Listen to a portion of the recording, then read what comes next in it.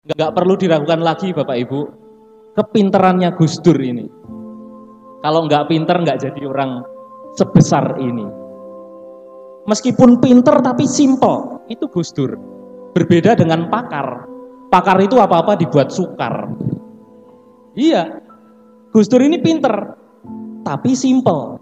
Meskipun sebuah kesimpulan itu ada sesuatu yang rumit di belakangnya, tapi outputnya simple.